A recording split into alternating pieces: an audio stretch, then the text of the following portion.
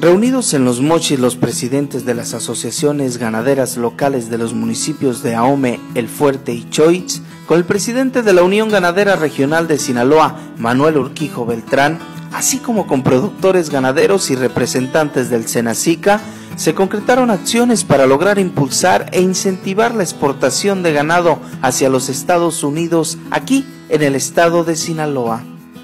El productor ganadero Adrián Bojorques del rancho Las Chunas en el municipio del Fuerte señaló que la exportación que se realizó apenas este día domingo 3 de marzo fue de una jaula de 85 animales, indicando además que su ganado tuvo que cumplir con todos los estatutos que exige la reglamentación de exportación de México y de los Estados Unidos.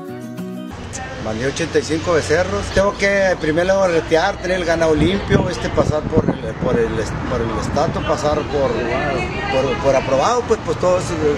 pues todas las reglas que te está pidiendo, pues todas las reglas se cumplieron. Que aquí dicen que es muy difícil, no es cierto que es difícil, lo que pasa es que le hace falta trabajar a uno o, o hacer las cosas bien hechas. Por su parte,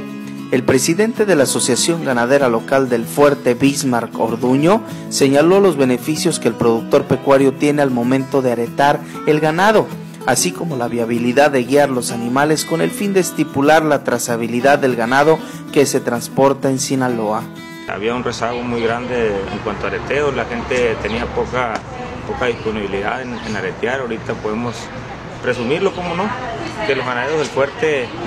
mmm, se, pues, nos estamos poniendo las pilas. Eh, casi tenemos, yo creo que casi el 100% de la verdad que eso es, un paso muy importante porque como lo decía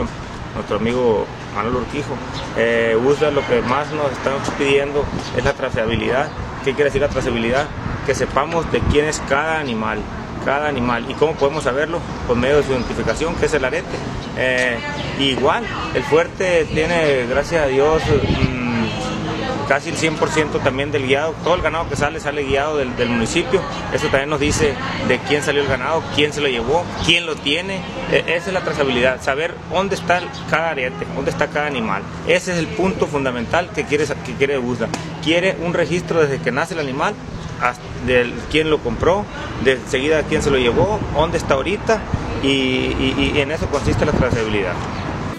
En la reunión se atendieron diferentes temas, resaltando entre otros el de la reconversión de pastos perennes, así como la realización de pozos en los municipios serranos del norte de Sinaloa.